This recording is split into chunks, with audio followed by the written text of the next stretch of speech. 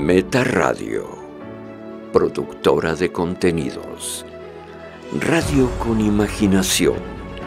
Una radio en donde tú eres parte de esa radio. Meta Radio.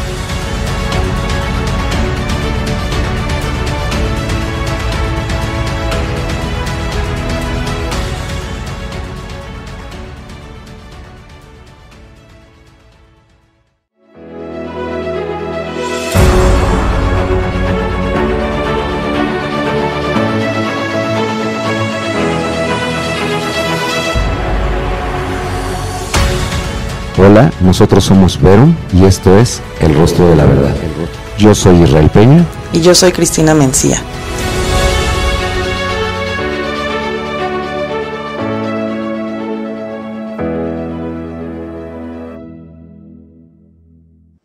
Usted está dormido. No sabe quién es porque no se conoce a sí mismo. Hoy es una persona, mañana es otra. Usted no hace las cosas, las cosas lo hacen a usted. Así que me atrevería a decirle que si no toma en serio lo que le digo y si no asume el trabajo sobre sí mismo como lo más importante que haga en su vida, seguirá durmiendo hasta el día de su muerte. Esta frase es de George Gurdjieff y esto es Verum, el rostro de la verdad.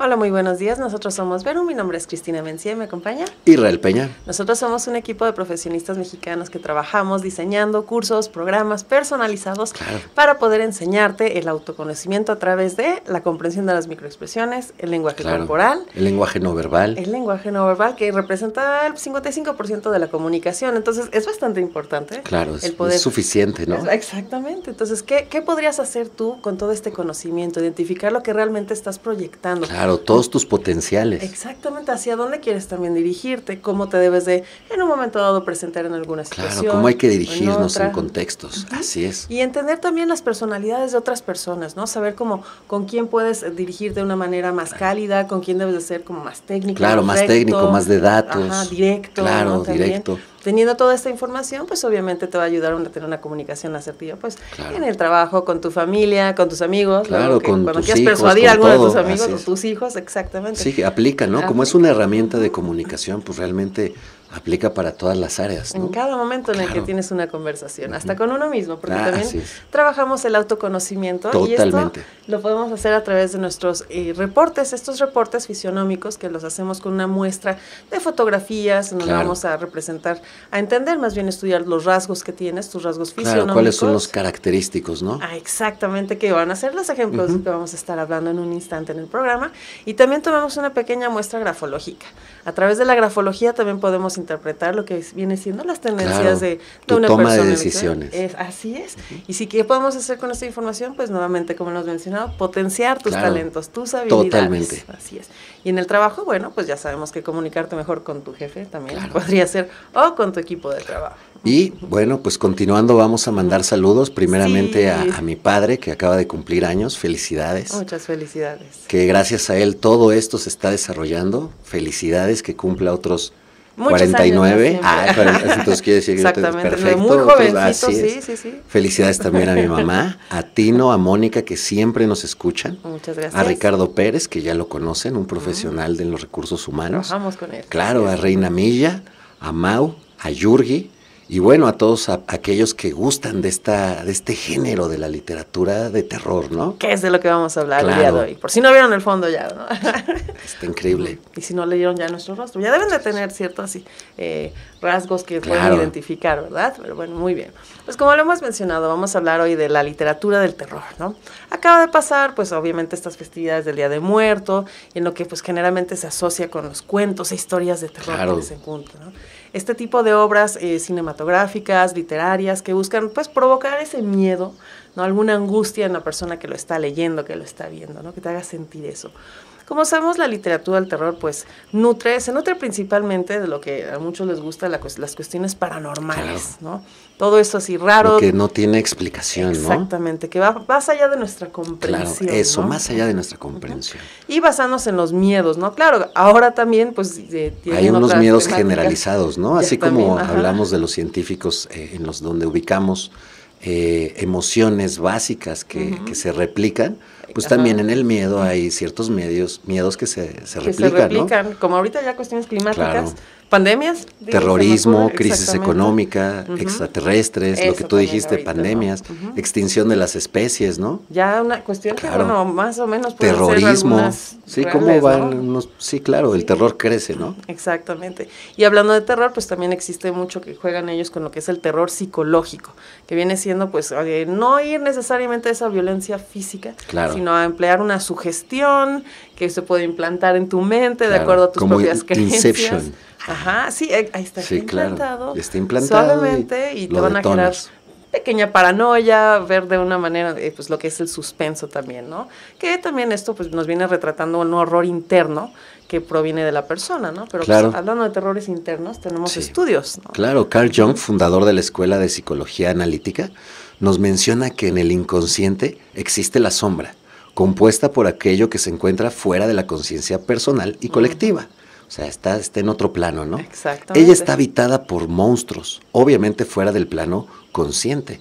Estos miedos se encuentran latentes en espera de cualquier impulso para manifestarse, ¿no? esa, esa sombra, ¿no? Como dice, que también está en el inconsciente, pero está afuera, ¿no? Esperando que algo haga que algo se detone, ¿no? Sí, entonces, bueno, pues vamos a hablar de personas que fueron muy buenas detonando este tipo de sensaciones. Claro, todas en general, ¿no? El miedo, el concepto del miedo. Así es, así es, la integral como los conceptos que manejamos. Así es. Muy bien. Comenzamos hablando con Edgar, de Edgar Allan Poe, que bueno, pues conocidísimo autor. Claro. Él nació ya hace unos cuantos añitos, 1809. en unos siglos, ya podríamos decir, hace unos cuantos siglos. Ya tiene, pero bueno, que famoso es y grandes sus obras, ¿no? Él, como sabemos, es un escritor, poeta, crítico, periodista estadounidense, bueno, era, quien es, eh, quedó desde muy pequeño huérfano de, de, ambos padres, entonces, bueno, vivió una, una situación bastante... Eh, pues una pérdida, ¿no? claro, y en una época en la que el ser humano se apenas está desarrollando, ¿no? Sí, vivió Un niño, así es.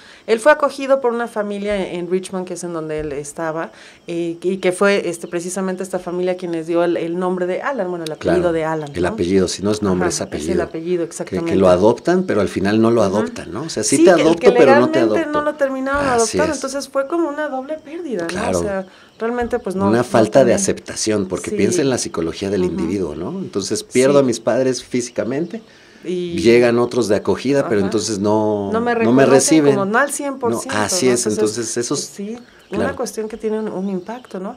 Pero lo que sabemos es que él sí es generalmente, pues es reconocido como uno de los maestros, pues ahora sí, universales del relato corto, porque tiene sus historias que son pues, bastante eh, cortas y pues bastante eh, conocidas, sobre todo pues en Estados Unidos, ¿no? En, ese entonces. No, y vemos la necesidad del individuo por canalizar esas emociones, ¿no? Porque al final esa emoción de pérdida, esa emoción de tristeza, pero de alguna manera el individuo lo tiene que sacar. Esto es a fuerza, como la comida, uno come y lo tenemos que sacar. Entonces, esto del... ¿Cómo eh, lo saca? Claro, entonces pues puede ser algo malo o lo puede sacar en literatura o lo puede sacar en arte o lo puede sacar en muchas cosas.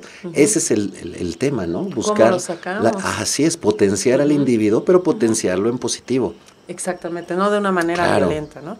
Él también lo conocemos por, por sus obras de la novela gótica, ¿no? Que eh, pues son características de lo que vienen siendo los cuentos de terror, ¿no? Y se le considera el inventor del relato detectivesco, ¿no? Entonces también está contribuyendo con ese thriller, ¿no? Porque el terror psicológico de que no hay el monstruo tal cual, pero juegan con el tiempo, juegan con las luces. Juegan con tu mente. Juegan con tu mente.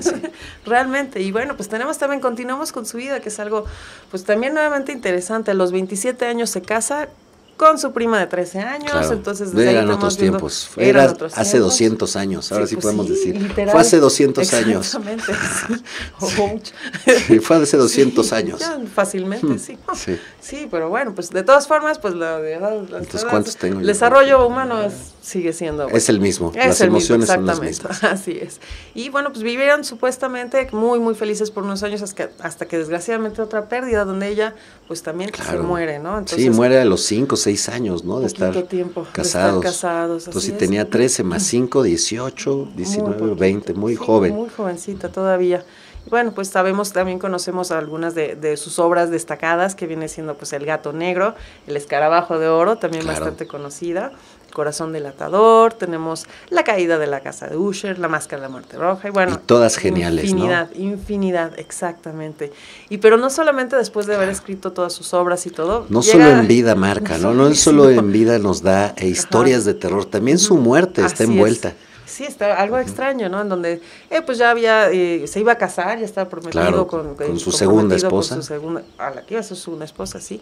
Porque va, hace su, su fiesta de, de, despedida, despedida, de, soltero. de soltero y todo, y de repente pues lo encuentran con ropa extraña en con la otra ropa, balbuceando, delirando. Delirando, así es. Y pues desgraciadamente pues, lo llevan al hospital y bueno, qué bueno que lo llevan al hospital, pero desgraciadamente pues unos cuantos días después pues ya fallece. Hay teorías de que tenía rabia, de que bueno, por todas estas pérdidas él tenía una, mente, condición. pues una condición tanto mental como física, ¿no? Alcoholismo también, sífilis, pueden decir rabia, ¿no?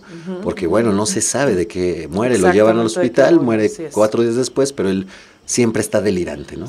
Repitiendo frases de sus libros y de, cosas muy extrañas, ¿no? Pero bueno, hablando de todas estas cuestiones extrañas, pues vamos a ver cómo se ve reflejada toda esta situación, este, que, que su vida, ¿no? La vida que llevó, qué es lo que podemos ver en su toma de decisiones, su fisionomía, qué es lo que nos dice.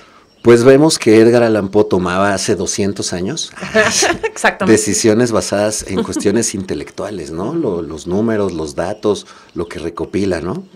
Eh, vemos también en esta parte que es la superior arriba en la, en la cabeza, mucha sensibilidad, ¿no? Mucho sentimiento. ¿Por qué? Porque si la bien la zona emocional es la mitad de la cara, también podemos detectar en el cabello, ¿no? Aparte de creatividad, vemos que el cabello no es este grueso, no está tan acaudalado como en otros eh, personajes lo hemos visto.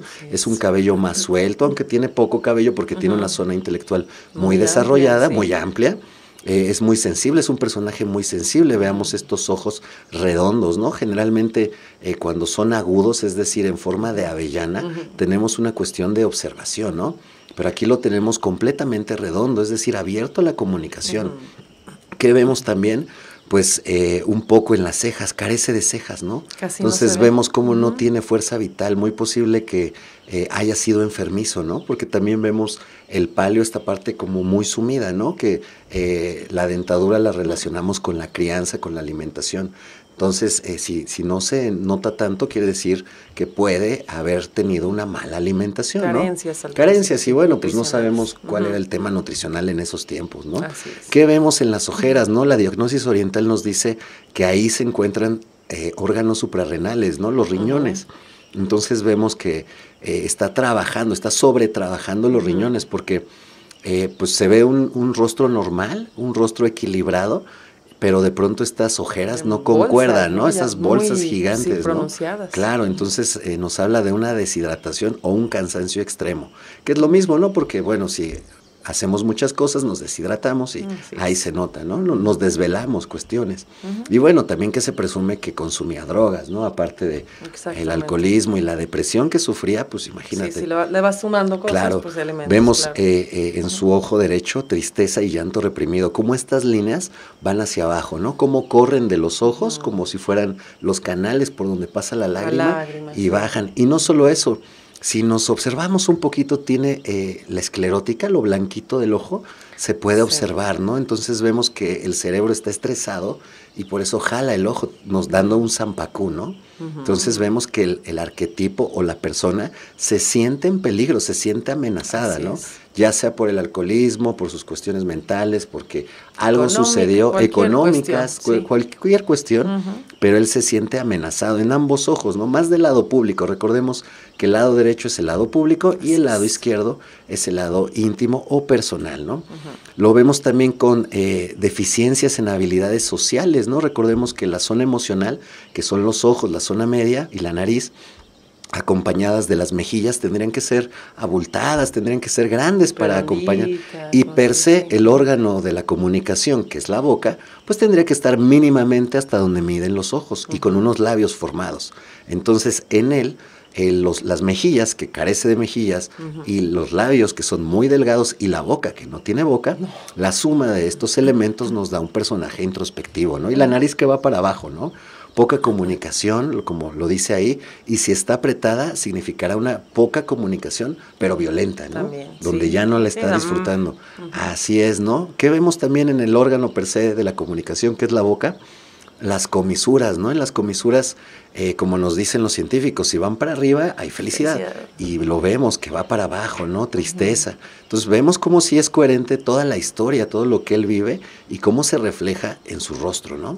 Todo esto en, en su rostro lo vemos es. en sus obras también. Lo ¿no? vemos en sus Cómo obras. lo transformó con esa, esa Claro. intelectualidad que lo, lo pudo pasar a la manera escrita, ¿no? Y si no lo hubiera hecho, quién sabe Claro. qué hubiera pasado. ¿no? Claro, hubiera morido, estado- hubiera morido, hubiera muerto más joven. Peor todo, es que eso Claro. pasaba hace 200 años. Hace 200 años. Así es. así. Sí, se decía así. Así se Sí, decía. es que te vas a morir, exactamente, sí, estoy morido, así se decía. Exactamente.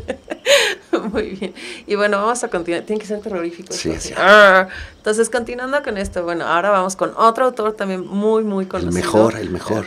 Así es, bueno, H.P. Lovecraft, H.P. Lovecraft, que bueno, él también nació en Estados Unidos en 1890, pues también, ¿eh? A, a finales de... También, ¿Hace dos siglos? hace dos siglos. Sí, también ya, ya podemos Ya, estar igual. ahí, sí. Un escritor estadounidense, como decíamos, autor también de novelas, relatos de terror y de ciencia ficción, ¿no? Él también ya va transformando lo que viene siendo, pues también este, este, este género. Este género lo va enriqueciendo, ¿no? Tan inteligente es que crea su propio subgénero, ¿no?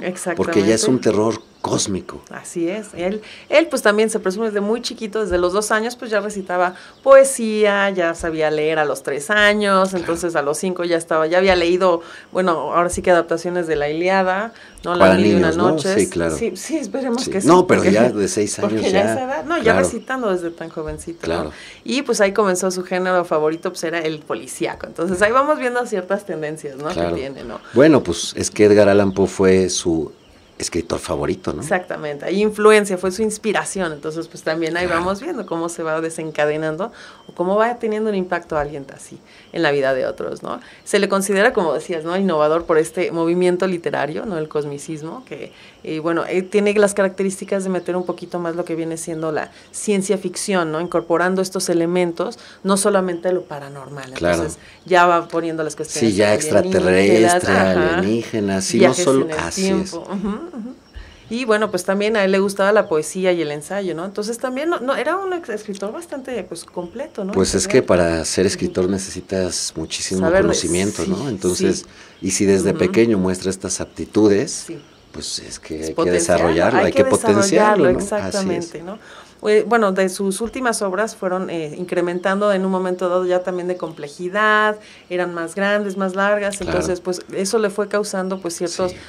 Problemas de desempleo. Sí, en el ¿no? mercado ya no es lo mismo sí. vender un cuento pequeño que... Que ya algo más Una complejo, saga, ¿no? Claro. Exacto. Entonces, pues desgraciadamente, pues se veía eh, editando y ayudando como un escritor así como Fantasma. fantasma, eh, eh, a otros escritores, ¿no? Pero bueno, finalmente esto desgraciadamente lo llevó a que, que llevara una tendencia pues ya más enfermiza en su vida, eh, con una desnutrición también, y terminó falleciendo de, de cáncer en 1937, ¿no? Pero él nos dejó un legado de más de Claro. 60 cuentos, ¿Y qué algunas cuentos? novelas, ajá, como obras destacadas como la llamada de Tulu. Tulu, ajá, eh, Dragón y otros cuentos Dagon. macabros, Las montañas de la locura, que por ahí te lo Claro, regalaron también. ¿no? buenísimo. Y bueno, pues sabemos quién es, ¿no? Ahora también algo bastante interesante es que él fue inspiración de Stephen King, ¿no? Otro Ok. autor también de este género. Claro, que vamos a ver posteriormente. Así es, después de él, después de analizar la Claro. fisionomía de Lovecraft. Ok, pues vemos que eh, las decisiones en Lovecraft son en esta parte instintiva, ¿no? Basadas en la supervivencia completamente, en esta parte de abajo, ¿no? Eh, ¿Qué vemos en esta parte también, aprovechando que estamos observando el área? Sarcasmo, estas eh, eh, volutas, estas bolitas que se ven abajo de los labios nos indicarán cierto sarcasmo. ¿Sarcasmo por qué, no? ¿Cuándo se da el sarcasmo? Cuando uno sobreconoce de un tema, ¿no? Y entonces ya le das la vuelta y te puedes burlar, ¿no? Entonces desde ahí ya vamos viendo esas eh, reminencias a la capacidad intelectual que mostró desde niño, ¿no? Exacto. ujú. ¿Qué vemos que comparte con eh, Edgar Allan Poe? La poca comunicación social, ¿no? Vemos que estas mejillas no están desarrolladas y si bien aquí tiene un poco de labios, un poco de más labios, Con- Claro, la boca es muy pequeña, ¿no? Entonces recordemos que las microexpresiones es la suma de, de partes, ¿no? Entonces, de emociones. Eh, ¿Qué vemos? Una persona impulsiva, sí puede ser este, eh, introspectiva, pero también impulsiva en desarrollar otras cosas. Vemos cómo la nariz eh, requiere oxigenación.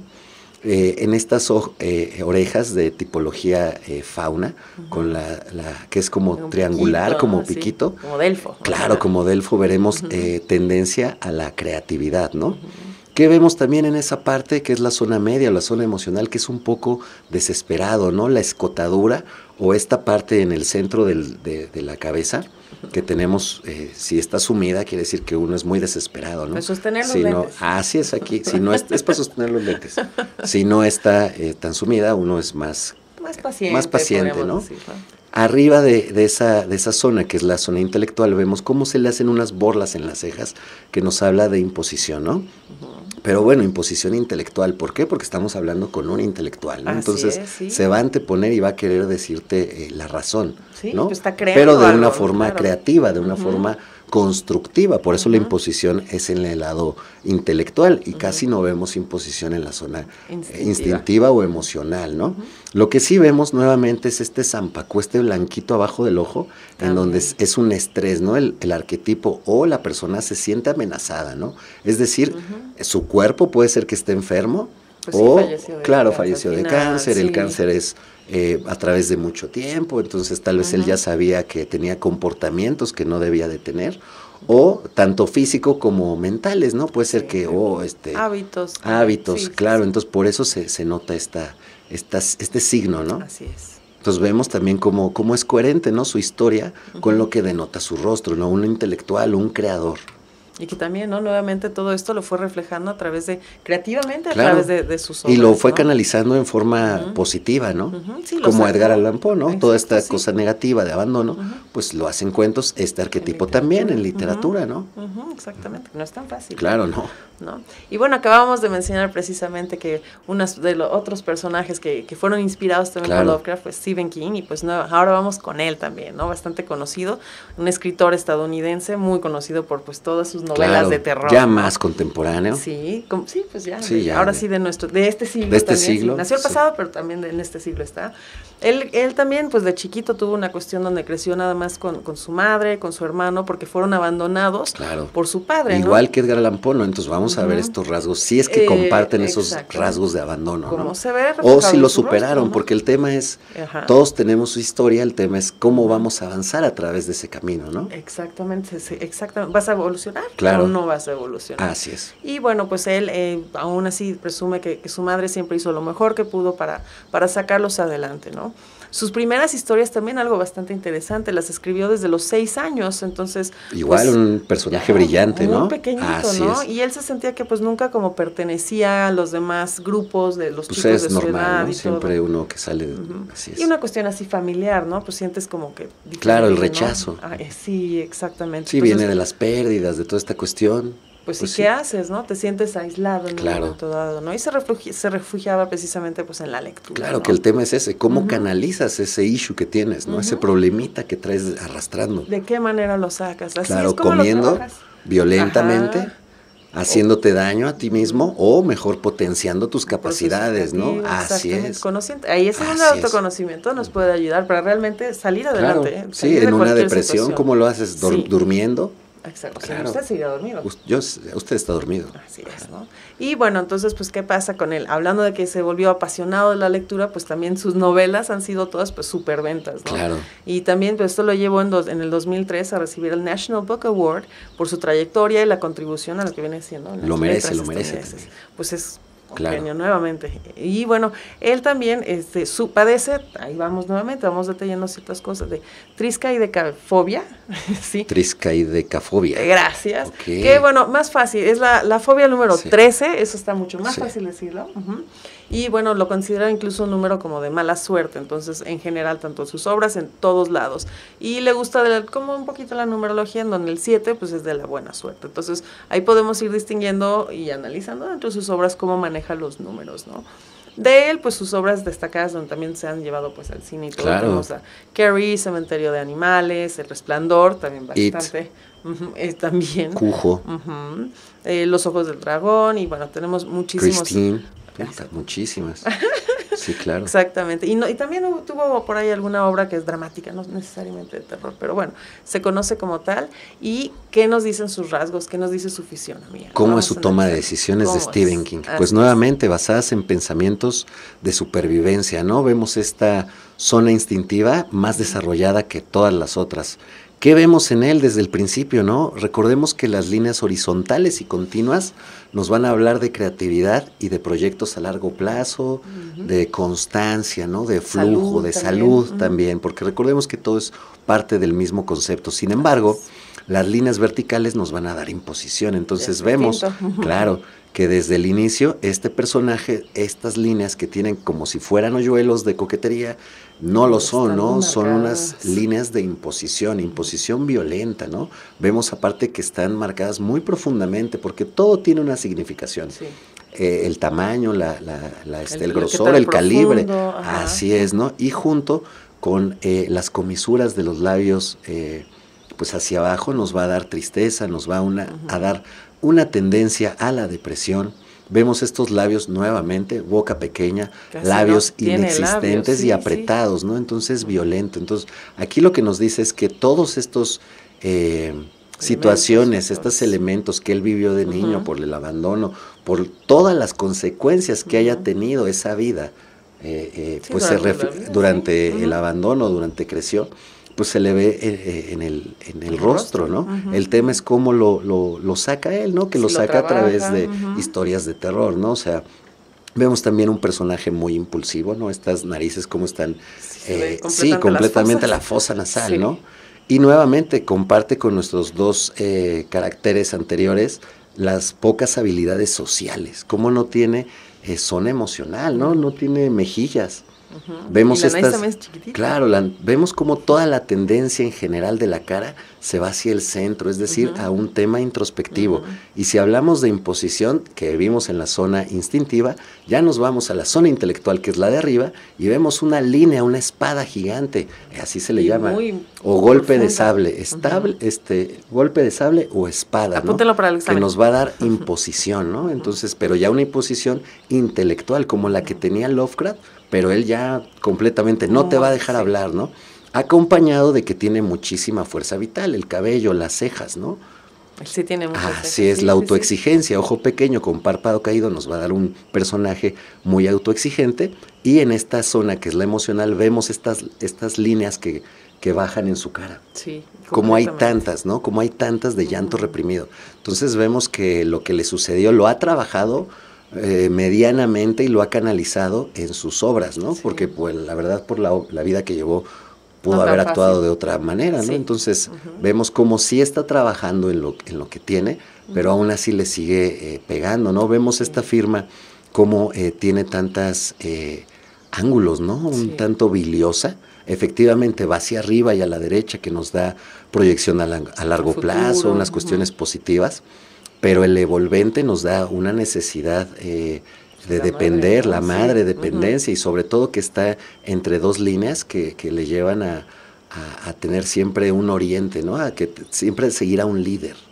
Sí, pues sí. Claro. Entonces, pues vemos como también esta descripción con su rostro macha completamente y sobre todo con la proyección de sus obras, ¿no? Más bien, yo veo el rostro y veo sus obras más que él. Ajá, sí, exacto. Como es una persona violenta, como es una persona eh, que no habla, una persona que de pronto no habla, pero puede ser intempestiva y que de pronto es muy intelectual, ¿no? Pero tiene esta fuerza vital.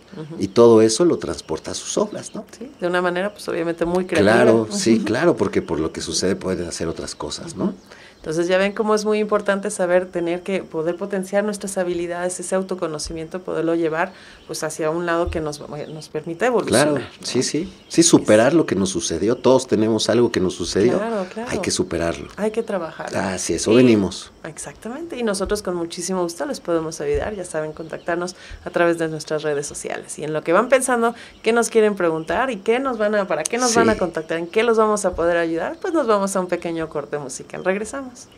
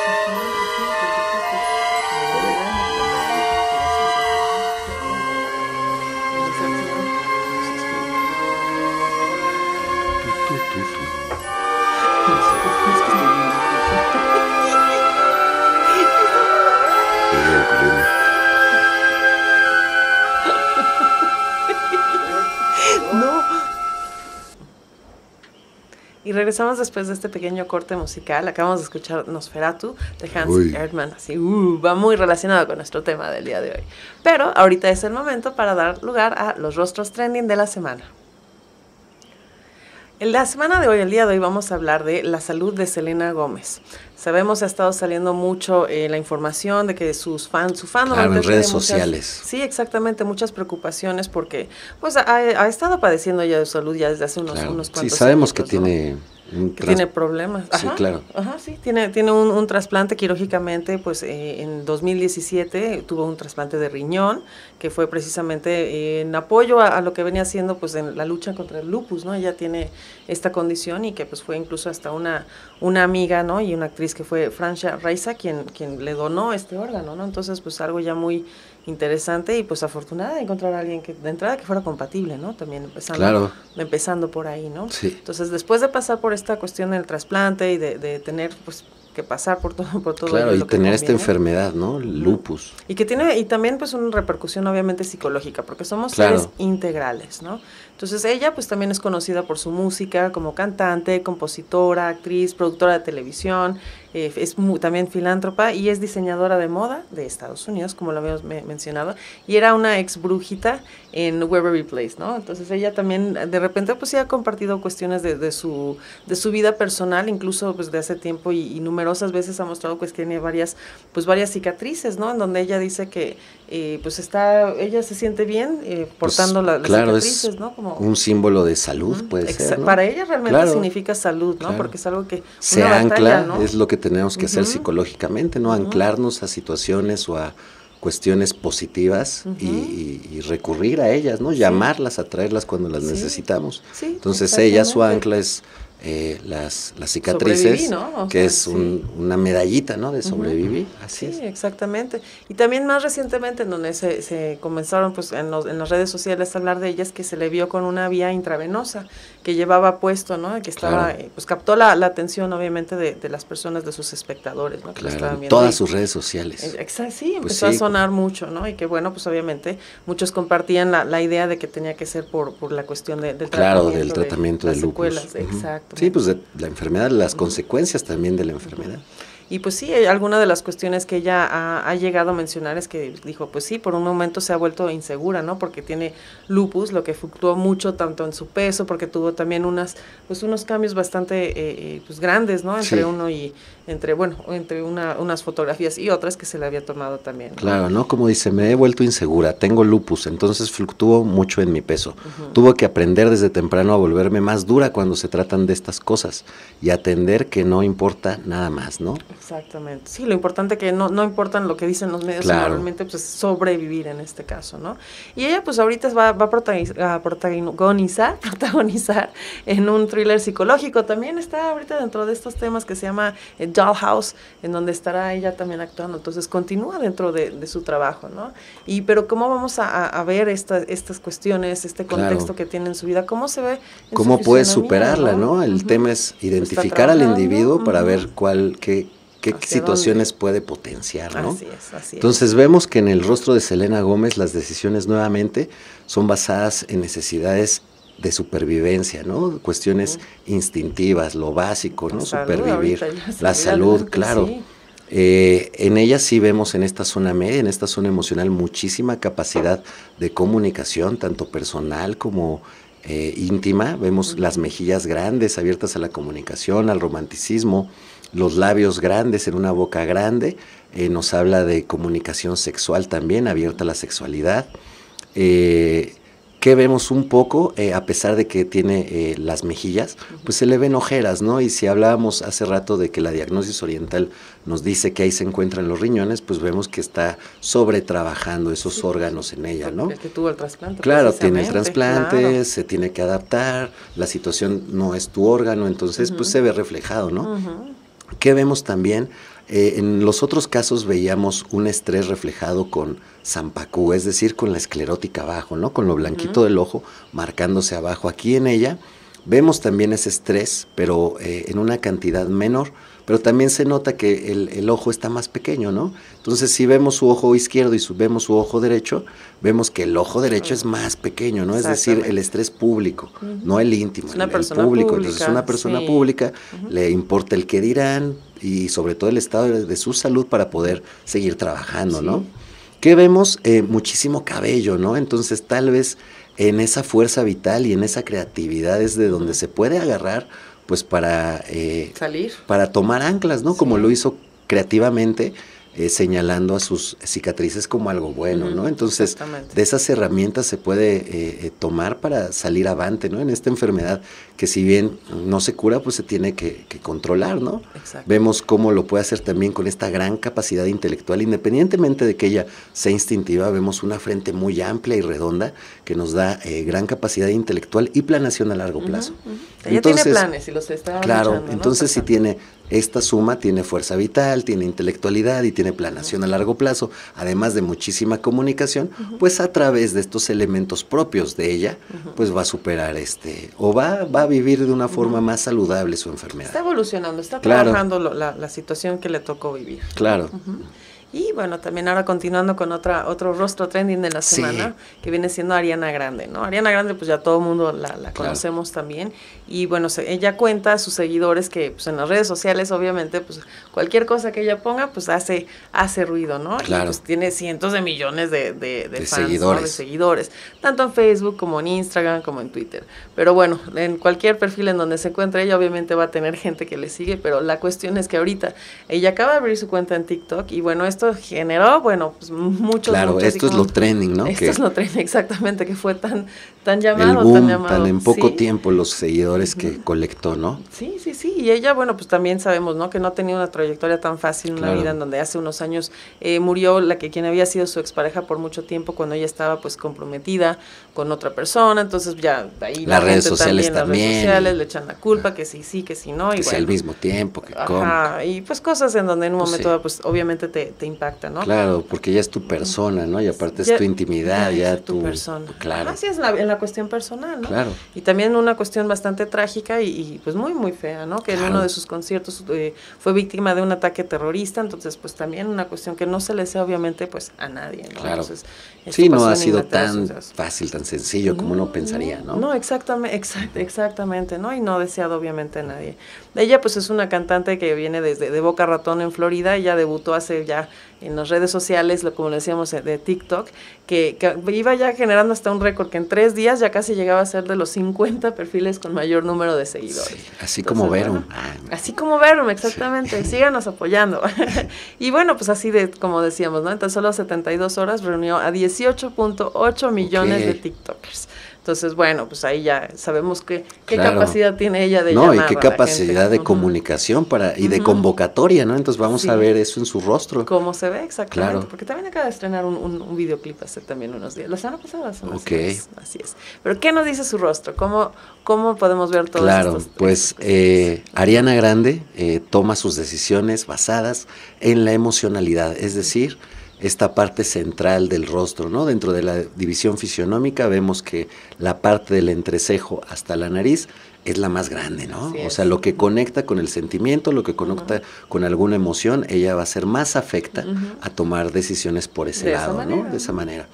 Que es eh, todo el conjunto que ha llevado a Ariana Grande a ser tan popular y como decíamos, a, a tener este nivel de convocatoria pues primeramente vamos a sumarle, ¿no? En la zona instintiva vemos, vemos este, eh, el, mentón, el mentón como está con una capacidad de proyección brutal, ¿no? Lo que repetíamos, ¿no? La capacidad social, la capacidad de comunicar, vemos unas mejillas redondas, romanticismo, boca grande con labios grandes, una apertura a la sexualidad, al romanticismo, un poco impulsiva esta nariz eh, que, nos describe con las fosas nasales abiertas. Eh, vemos el espacio entre los ojos y las cejas, que ya es la zona emocional, muy amplio, ¿no? Entonces, con altas aspiraciones de vida. Es decir, ella va a hacer lo posible para brillar, para darse a notar, ¿no? Así es como con el alto impacto, le encantan las actividades de alto impacto y las puede hacer porque tiene muchísima fuerza vital, ¿no? Vemos el grosor del cabello en las cejas en, y en las, normal, en la cabeza, ¿no? Esta tipología fauna también la reconocemos en ella, ¿no? Estas orejitas como triangulares, entonces vemos cómo la suma, ¿no? Es creativa, es comunicativa, social, tiene eh, eh, la fuerza para el alto impacto, entonces vemos cómo todas estas sumas se puede, tiene una capacidad social pues bastante abierta, ¿no? Y también eso lo vemos en su firma, ¿no? Las, eh, las capitulares muy altas que nos dan una tendencia a hacer, este, a llamar la atención. Y bueno, aquí ya la, el, el, concepto ya no es más bilioso, es más bien sanguíneo de comunicación, como estos trazos eh, en bucle que nuevamente nos hablan de comunicación, de este, como todo es la comunicación, como todo es eh, ligado a lo positivo, ¿no? Porque también va hacia arriba y a la derecha, ¿no? Como en ella no vemos un ojo más pequeño que el otro, ¿no? Es decir, no hay tanto estrés, ¿no? Entonces está trabajando más en, en, otras cosas, ¿no? No lo vemos tan estresada, tal vez sí realmente está haciendo lo que le gusta, vemos un personaje bastante desarrollado, no vemos líneas eh, verticales como las veíamos en otros personajes que ya son mayores, pero también si este personaje hubiera vivido el contexto, recordemos que todo es el contexto. Entonces se marcaría, ¿no? Porque hasta lo vimos en Obama, ¿no? Como hay un antes y un después y en el después se le eliminan algunas, algunas líneas, ¿no? Entonces es realmente el contexto que está viviendo el arquetipo, ¿no? Entonces, si bien no tuvo una vida tan fácil en algunos momentos, en general sí ha sido muy, muy buena, ¿no? Vemos cómo eh, toda su cara proyecta felicidad, cómo proyecta comunicación. Así es, claro. muy bien. Y bueno, los dejamos con este pensamiento de ver cómo trabajando en positivo, pues podemos salir adelante y nos vamos a ver incluso más jóvenes. Claro. Entonces, quédense con esa idea en la mente en lo que vamos a un pequeño corte musical.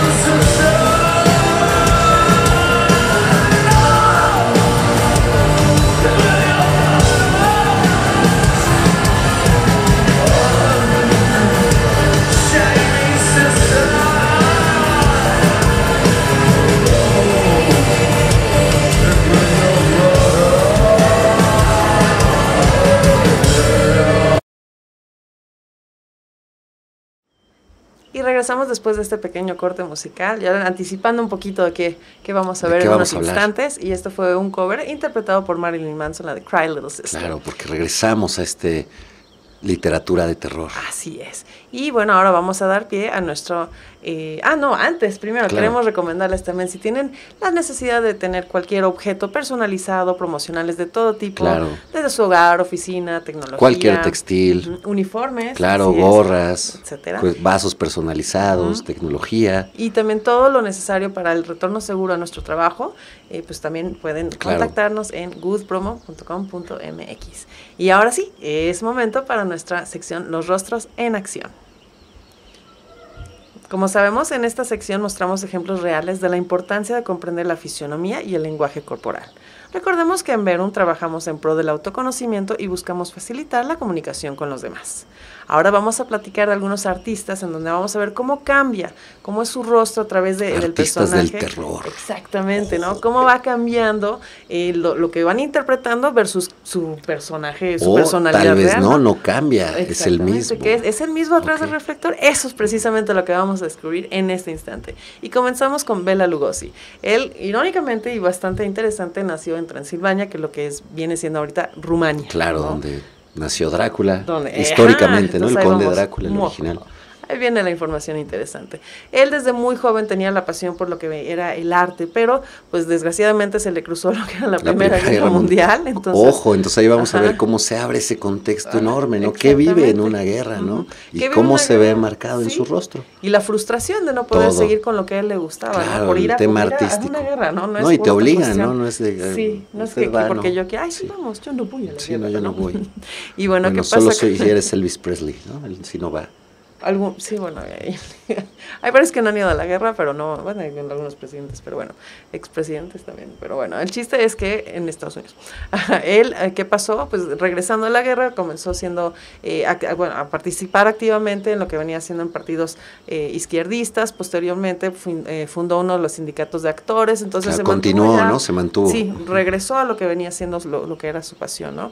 Él sediento de, de tener éxito y todo, pues se muda a Alemania para poder bueno, comenzar con lo que viene siendo pues sus obras, sus puestas en, en, acción, ya siendo como actor, pero donde realmente encontró eh, esta, pues digamos, este, este conocimiento. Este impulso, ¿no? Ya, realmente. Eh, ajá, exactamente, fue ya en Estados Unidos, en Broadway, ¿no? En donde encontró lo que él decía su destino, que era el conde vampiro. Obviamente estamos hablando de Drácula. Claro. En donde pues se le dio una oportunidad y algo, un dato muy interesante es que pues no hablaba tan bien el inglés, entonces realmente se aprendió de manera fonética el diálogo. Sí, es como hablar japonés sin hablarlo, ¿no? Te lo aprendes. Sí, o cuando te aprendes una canción en algún otro idioma, ¿no? cuando washa washeas, es eso, es lo que es se ese pedacito, pero ah, ahora sí. llevaron a puesta toda una obra, ¿no? Entonces, claro. pues ahí vamos viendo ¿no? Que ganas de trabajar tenía, ¿no? Claro. Él pues nos dejó con 108 eh, películas, títulos de cinematográficos y entre las cuales se encuentran obviamente las de Drácula, The, Black Cat, White Zombie, eh, The Return of the Vampire, bueno, muchas que tienen que ver obviamente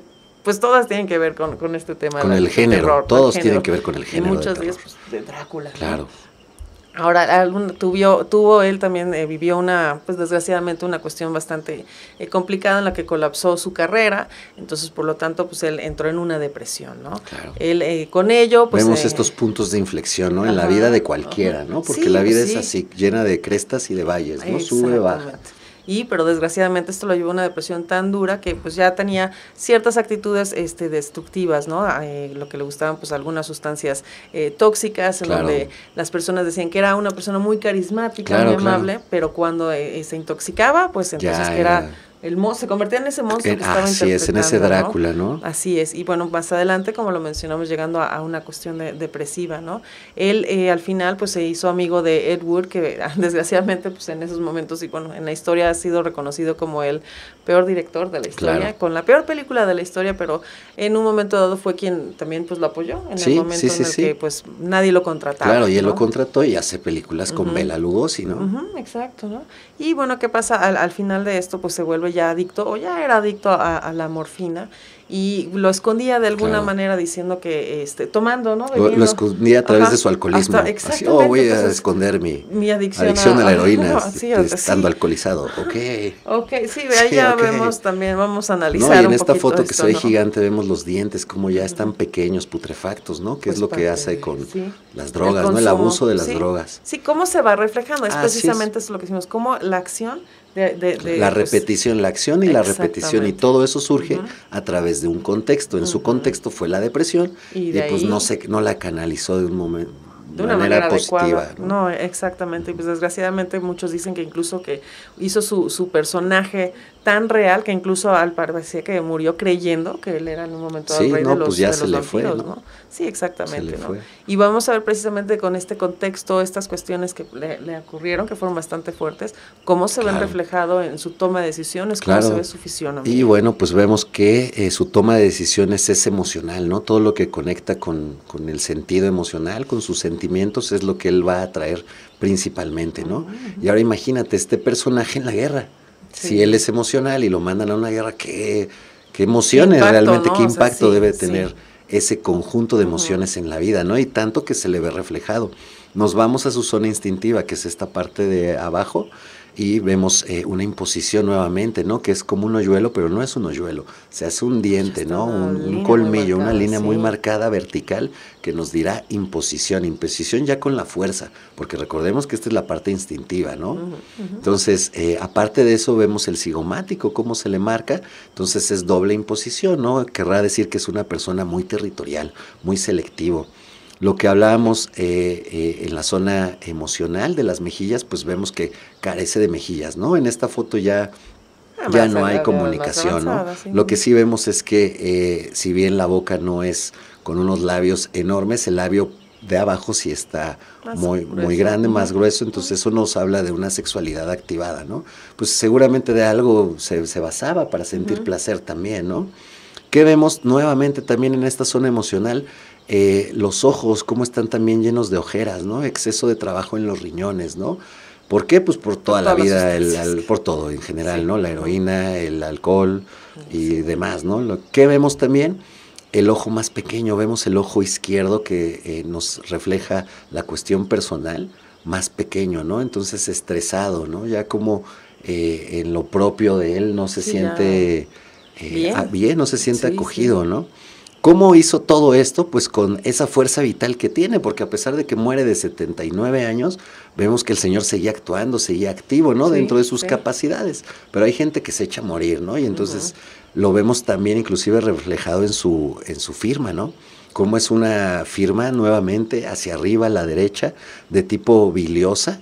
Eh, aquí el tema es que si nos fuéramos al microscopio, veríamos esas enfermedades, veríamos el alcoholismo, veríamos el consumo de cocaína, ¿no? ¿Por qué? Porque veríamos en, la tipografía eh, pequeñas vibraciones, pequeños, eh, la letra habla, ¿no? La línea, el trazo sería discontinuo y, lo vemos ahí, ¿no? Lo vemos empastado, lo vemos un poquito empalmado también, ¿no? Entonces aquí ya se va viendo cómo se refleja físicamente, mentalmente y aparte cómo lo puedes proyectar, ¿no? Por eso nuestros reportes son tan completos, ¿no? Porque tenemos una muestra de todas tus fotografías que nos haces llegar por medio de un instructivo y aparte en la cuestión grafológica, ¿no? Entonces tenemos estas dos situaciones para comparar y entonces sí, como Abela Lugosi, ¿no? Decir, ok, pues él tiene eh, la creatividad, porque también tiene estas eh, orejas en tipología fauno, ¿no? Tiene toda esta fuerza vital que se refleja en el cabello, en las cejas, y también esta capacidad de manipulación, es decir, que crea las cosas para que salgan como él quiere, ¿no? Y vemos la gran capacidad mental que él tiene. Entonces, a través de todos estos elementos, él pudo haber superado esta, esta depresión, ¿no? Tal vez pues fue de muchos años, tal vez fue el final. Y no estaba un existente en ese Claro, entonces fue también parte de lo que sucedió, ¿no? Exactamente. Desgraciadamente, pues no, no terminó pues bien, ¿no? Claro. Y bueno, pues vamos a continuar con nuestra última eh, personalidad del día de hoy, ya también bastante conocido, ya, ya teníamos un pequeño preámbulo, y obviamente pues es Marilyn Manson, ¿no? De nombre real es Brian Hugh Warner, él, él nació... El Brian, exactamente, sí. ¿De ahí habrá salido? No creo. Él nació en Estados Unidos, en Ohio, en 1969, ¿no? Y pues bueno, se ha convertido en una eh, de las estrellas más controversiales, pero antes de ello también estudió periodismo del espectáculo, entonces pues también es una persona que realmente sí... Pues que se, interesa por cuestiones intelectuales, ¿no? y desde la foto que vemos, ¿no? Cómo tiene su zona intelectual más desarrollada. Desarrollada, sí, sí, bastante Bastante interesante este personaje, ¿no? Y, bueno, una de sus pasiones siempre ha sido este también el cine. Él incluso ha estado, eh, ha estado en algunas, en, algunas películas, estuvo en Lost Highway, que esta fue dirigida por David Lynch. así es. Y ha aparecido en otros eh, cortometrajes y pues largometrajes, ¿no? De vez en cuando sale, como el de Let Me Make You a Martyr, ¿no? Que también es una, una película que, pues más reciente, ¿no? Claro, no, no es tan viejita. 2016, 17 me parece. Él también es apasionado de la pintura y ha tenido eh, exposiciones propias en Los Ángeles, en París, en Florida, en Berlín, e incluso compró un estudio en Los Ángeles y lo llamó The Celebritarian Corporation Gallery of Fine Art tiene que ser pues tan complejo como la personalidad claro, de, todo. ¿Cómo, es su, claro, cómo es su firma, cómo se proyecta, pues así será. Exactamente. Es lógico, ¿no? Cómo vemos a una persona, cómo se viste, qué carro usa, con quién se junta, pues tampoco es cosa del otro mundo, es cuestión de observar. Exactamente, sí, lleva, lleva lo que viene siendo su personalidad, sí lo lleva a sus acciones, ¿no? Él, pues, durante su carrera ha sido nominado a, cuatro Grammys durante toda su carrera, pero pues no ha ganado ninguno de ellos. Tal vez por eso está Pero, quién sabe, sí, pues no sabemos, puede ser, este, pero bueno, también eh, tenemos una cuestión también de una vida, pues, más o menos eh, pública de sus relaciones amorosas, entre ellas, pues, se, se llegó a casar con Dita Von unos, este, unos cuantos años, no fue demasiado tiempo, porque él incluso fue, él estaba molesto de la vida que ella llevaba, ¿no? Entonces dices, ah, caray. Sí, ahora resulta, ¿no? que no te gusta que ella tenga, pose y tenga fotos. Oh, bueno, así es. Pero bueno, lo interesante. Los casó Alejandro Jodorowsky. Exactamente. Entonces también está hablando de, de, ya tiene otras otras ideologías, ¿no? Y sobre todo, pues esa capacidad intelectual. De con quién, ajá, con, pues, quién, te juntas. Está llevando, exactamente, ¿no? Que bueno, es muy amigo de Johnny Depp también, ¿no? Como da, demasiado, tocado, ha tocado demasiado en conciertos con él. demasiado buena que ha participado. Vean los videos, sí, búscanlo en YouTube, están. Y bueno, él, se casó precisamente en, eh, en este momento, fue en un castillo y obviamente estaba ahí como invitado David Lynch, también Keanu Reeves, Ozzy Osbourne, pues, personas, celebridades también bastante Cuates, ¿no? interesantes. Con quien se codea, ¿no? Claro, claro. mis fiestas también igual. Así son, Así las de ver, vayan a las fiestas de ver. Ajá. Y bueno, también eh, dentro de todo esto no solamente se ha quedado con el arte, sino también creó una bebida energética llamada Eat Me, Drink Me, y otra también que se llama Manson, que tiene como absenta. Es absenta, ¿no? Pues sí, de pues, Manson. Eh, creativo el muchacho, creativo con el nombre. Y bueno, también algo bastante interesante es encontrarlo sin maquillaje, porque ya se ve, pues, ay, bueno, se ve diferente, vamos a decirlo así, ¿no? Es algo en un momento, pues es precisamente lo que vamos a analizar, que a, través de, a lo largo del tiempo, realmente es una persona que, pues, en incontables veces se ha, visto así, aunque ya poquito a poquito está saliendo sí, se está quitando el maquillaje, ¿no? Sí, pues ya tiene más de 50 años el, el muchacho, qué rápido. El, chico. El chico. Y bueno, vamos a ver cómo es su toma de decisiones, qué es lo que nos dice el rostro de Marilyn Manson. Claro, pues vemos un rostro alargado, ovoide, que nos habla de unas decisiones basadas en la supervivencia, ¿no? Nuevamente esta zona instintiva desarrollada. ¿Qué vemos eh, en él nuevamente en esta zona? Y desde el principio, ¿no? Una boca pequeña, y súper apretada, ¿no? Independientemente con maquillaje o sin maquillaje, eh, se nota el... Sí, porque la cara es un músculo y se va desarrollando a través de las emociones que sentimos. Entonces no es solamente cuando yo me pongo maquillaje y son esas dos horas en las que actúo, sino ya mi cara es así, ¿no? Entonces quiere decir que ya mi toma de decisiones es violenta, es impositiva, es impulsiva con poca comunicación social, vemos cómo estos cachetes no tiene cachetes, no tiene mejillas, todo va hacia abajo cómo estos hoyuelos realmente no son hoyuelos, sino son eh, líneas verticales que nos hablan de imposición. la boca pequeña y apretada, que nos habla de violencia, eh, pero bueno, con comunicación sexual activada, ¿no? O sea, pues como decíamos, pues, se tiene que compensar de alguna forma, ¿no? Llegando a la zona media, que es donde se encuentran los ojos, la nariz, vemos eh, a través de las orejas, que es un personaje que no se apega a procesos y a procedimientos, eh, dándonos un personaje creativo, natural desde esa situación, ¿no? Porque yo no leo los instructivos, yo lo hago a mi manera, pero pues tienes que hacerlo bien porque si no, no sale, ¿no? Entonces vemos cómo esa creatividad sí le ha funcionado, ¿no? Sí. ¿Qué vemos eh, también? Eh, pues ya lo que decíamos, ¿no? Un área intelectual bastante desarrollada con capacidad de proyección a largo plazo, ¿no? Y con estas capacidades intelectuales, es, creativo, es cineasta, escribe, lee, cuando fue la masacre en Columbine, sale en el documental de Moore y nos da eh, unos datos muy precisos, ¿no? lo critican como, como el personaje de Marilyn Manson, pero realmente él él, él, contesta como, como el Brian, ¿no? Sí, como, como, el Brian que es. como el Brian que es realmente el, intelectual. Sí, bueno, aquí básicamente lo, lo, que le preguntan es, es qué es lo que, hubiera, que le hubiera dicho él a estos niños, ¿no? Que, que cometieron, esta, esta, masacre, ¿no? Entonces dije, pues no, yo no les hubiera dicho nada, yo los hubiera escuchado, ¿no? Entonces, de esas respuestas que realmente, pues sí son pensadas, sí son pensadas, las estamos viendo, ¿no? Claro, creativo, ¿no? Nuevamente esta tipología en las orejas de, que terminan en puntita, esta tipología fauna, ¿no? Y pues todo esto de la imposición, la violencia y la transgresión pues, se ve reflejada en su firma, ¿no? Vemos cómo es una firma llena de líneas como la de Trump, que ya la hemos analizado hasta el cansancio, angulosa, eh, compacta, nerviosa, pastosa, inarmónica. Entonces todo lo que...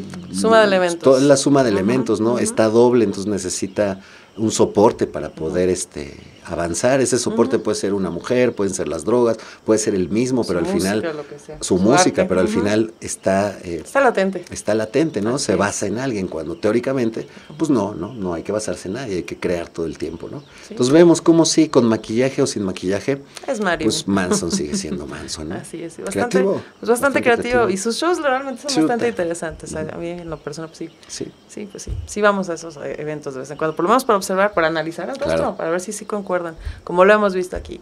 Y bueno, si ustedes piensan que este es el momento para pues salir adelante, poder conocer más de sí mismos, poder tener una mejor comunicación, ya sea en el trabajo, a través de nuestros cursos que están enfocados algunos hacia ventas, negociaciones, recursos humanos, también reclutamiento, selección, pues no duden en contactar. De personalidades, afinidad de personalidades. Tanto para los trabajos como para nosotros mismos, nuestra familia. Hemos hecho estudios a familias completas, ¿no? para mejorar la comunicación interna, ¿no? Y claro, ¿cómo lo vamos a hacer? Como siempre lo hemos dicho, basándonos principalmente en el autoconocimiento, ¿no? Vamos a saber cómo somos nosotros, cómo nos podemos comunicar e identificar con los demás. Y bueno, pues con esto vamos a cerramos, ya saben a dónde contactarnos, nuestras redes sociales, tenemos nuestra página que es www.verumdesarrollointegral.com.mx y bueno, las demás redes sociales en, en YouTube, Facebook, eh, Instagram, pues nos encuentran como Verum Rostro. Esperemos les ha gustado mucho esta, esta sí, a nosotros también. Así es, y a nosotros también, muchas gracias. Gracias. Nosotros somos Vero, mi nombre es Cristina Mencía, me acompaña. Israel Peña. Que tengan muy bonito fin de semana. Muchas gracias por acompañarnos. Hasta luego. Bye.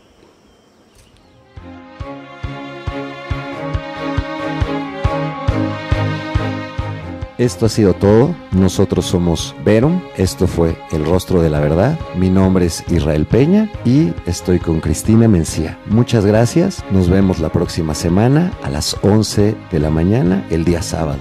Hasta luego.